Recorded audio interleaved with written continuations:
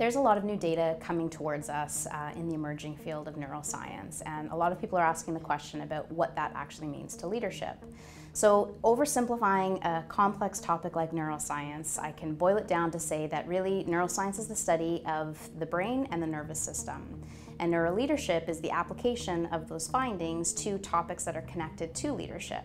So things like how we work with others, how we make decisions, how we might um, create conditions where employees can thrive. Neuroscience is creating some significant breakthroughs in understanding the way we treat each other. So really it's been applying hard science to what we've typically referred to as soft skills.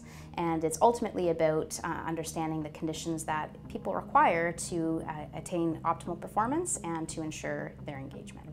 The brain is beautiful and yet extremely complex. It is the uh, command center for our central nervous system, and really it is expertly trained to maximize reward and minimize threat.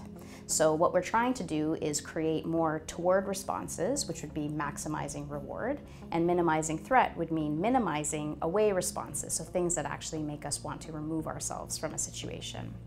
So many of us have actually have heard about the limbic system, which is housed within our brain. All of us have one.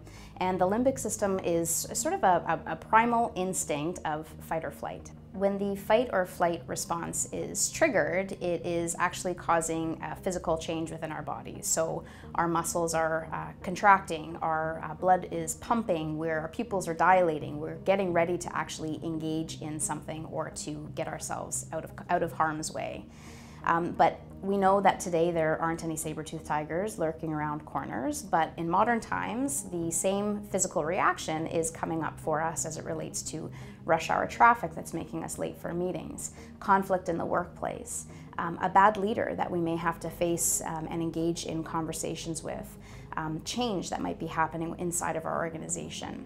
So all of these things are literally flashing at us as threats and creating a situation within our brain where we can't actually focus our thoughts. So why is this important? Well, leaders having an understanding of their own brain enables them to understand what may be happening in the brains of their employees. And ultimately, it enables them to create conditions or an environment where employees can thrive. And that means reducing the risk and maximizing reward opportunities. So creating safety to ensure that there aren't threats to employees and again, those threats could be showing up as conflict, as negative feedback, as changing environment, um, and then creating the safety for employees to express how they're feeling um, about a particular scenario or what might be happening in their worlds. There is still a lot of information that's emerging in the field of neuroscience, but at Canadian Management Centre, our focus is on building the next generation of leaders, and neuroscience is absolutely integrated within that. So what we're trying to do is get information and resources into the hands of the individuals and organizations we serve.